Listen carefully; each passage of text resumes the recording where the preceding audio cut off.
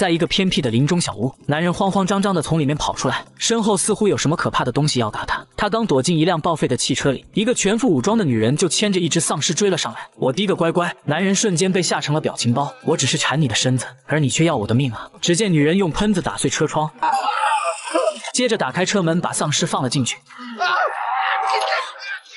不得不说，怂姐真是个狠人，居然把丧尸当成宠物来养。很快就有一家五口趁着假期来到林中小屋度假，他们丝毫不知附近住着一个变态的女人，三个小孩喜欢作死。刚到没多久，就来到丛林深处探险。不出意外的话，他们很快就来到了怂姐饲养丧尸的木屋外。熊二看到这么多汽车，显得异常的兴奋。殊不知，每一辆汽车都是一条人命。他刚坐上去，就在方向盘上摸了一手不明液体，这味道差点没让他当场去世。这时，一辆汽车开了回来，三人赶紧躲到一旁。只见怂姐带着两个倒霉蛋走下了车，显然这又是他为丧尸准备的自助餐。不明所以的三人看到这一幕，心想两男一女共处一室，肯定是斗地主。于是，在好奇心的驱使下，他们躲在窗外偷窥起来。表面上看起来都在往预想的方向发展。怂姐先是给两人各倒一杯红酒，而两人也毫不犹豫的一饮而尽，接着就开始尬舞起来。这一幕也是让窗外的三人越看越兴奋。殊不知这可不是一般的红酒，其中一个男人刚准备脱掉外衣，就立马倒了下去。看到同伴倒下，另一个男人开始慌了，可没坚持几秒钟也倒了下去。而怂姐则是把窗帘拉上，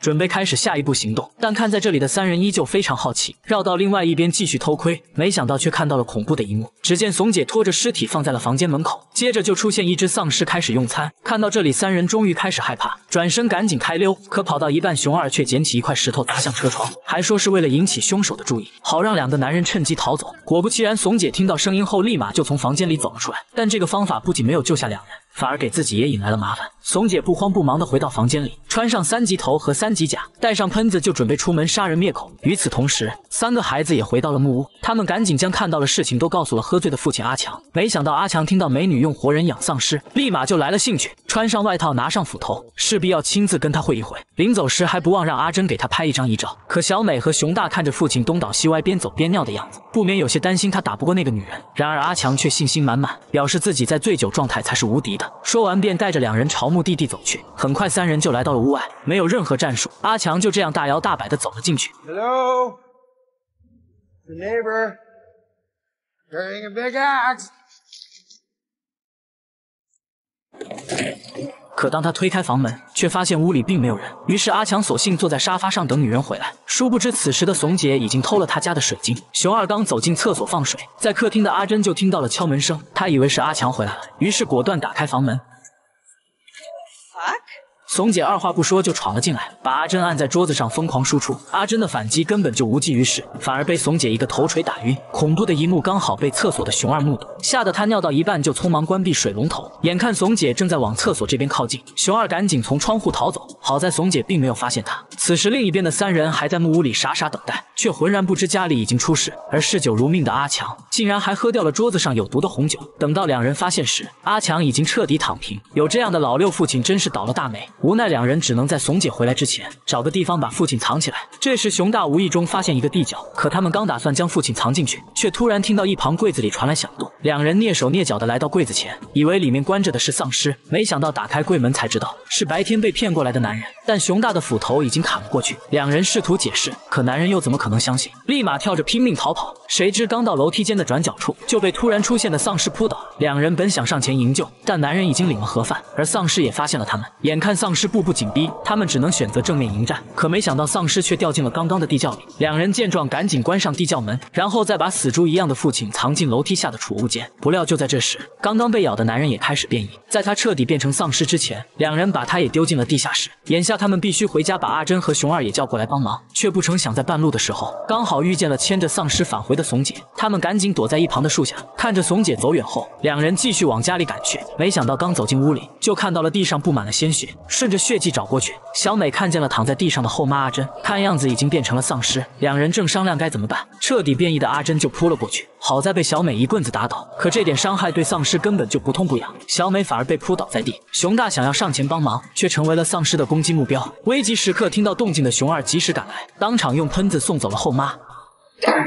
冷静下来后，熊二把怂姐来过这里的事情都告诉了两人，而两人也把父亲还藏在怂姐家的事情也说了出来。没办法，他们只能去营救这个不靠谱的父亲。三人随即来到仓库，利用所有能用的东西武装自己，一切准备就绪后，他们很快就来到了怂姐家，而怂姐也早已牵着丧尸等候多时。一场营救老六父亲的大战一触即发，怂姐二话不说就给了一喷子，吓得三人赶紧躲到汽车旁。接着怂姐一声令下，丧尸就老老实实冲在前面，而他自己则苟在丧尸后面开枪。一只丧尸很快就就盯上了小美，小美赶紧钻进汽车里，略施小计把丧尸关在了里面，但却成功引起了怂姐的注意。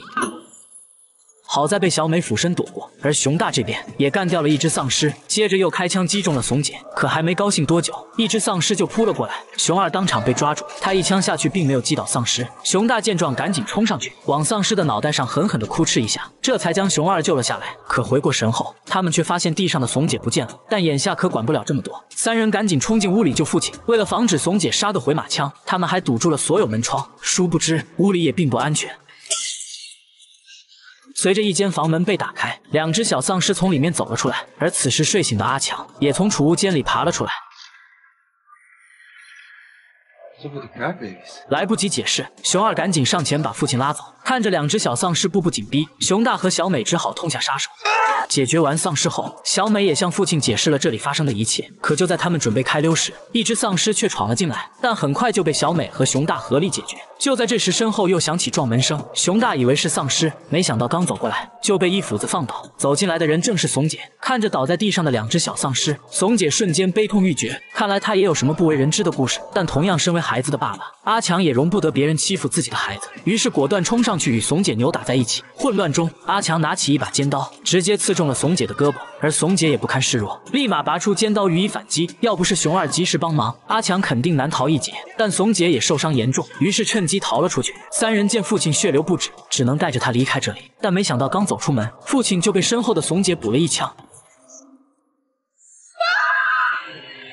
刚刚还能抢救一下，这下彻底没救了。三人也吓得四散而逃。怂姐骂骂咧咧的从房间里走出来，痛斥他们不该杀了自己的孩子。显然，怂姐之所以会养丧尸，并不是因为单纯的心理变态，而是不想放弃变成丧尸的家人。但这并不能成为她随意伤害他人的借口。就在怂姐拿着喷子朝躲在车厢里的小美疯狂射击时，熊大开着车子撞飞了她。奄奄一息的怂姐还想垂死挣扎，但熊二根本不给机会，直接给了她最后一击。在电影的最后，三人把父亲的遗体抬上车，结束了这个难忘的假期。